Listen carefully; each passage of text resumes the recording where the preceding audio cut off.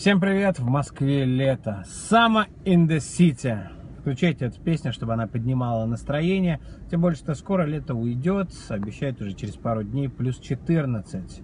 Ну а дальше чемпионат мира. И там уже наше настроение будет измеряться далеко не только погодой, но еще и результатами сборной России.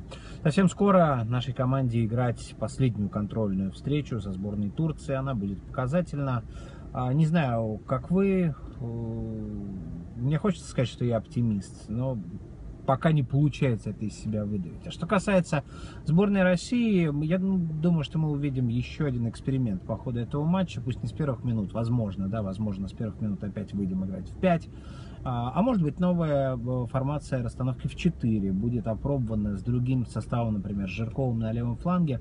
Я думаю, что снова мы увидим троицу Головин, Зобнин, Кузяев э, в ходе этого матча. Я думаю, что Загоев очень может появиться, вероятно, с первых минут. Так или иначе, опять будут вариации, вариации, вариации, вариации. И опять, э, я боюсь, что будет э, неразбериха. Я думаю, что опять будет определенная суета, будет недопонимание. А, ну, согласитесь, после того, как мы это увидели в матче против Австрии, ну, не может все разительно измениться. Хотя, конечно, команда выходит из-под нагрузок, хочется в это верить.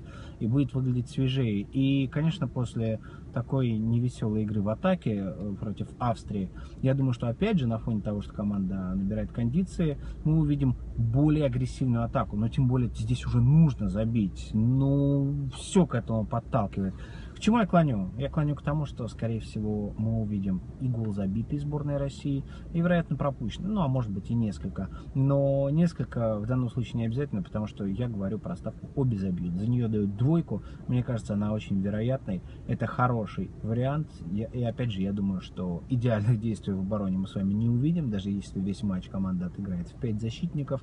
Ну, а забивать просто уже надо. Пора.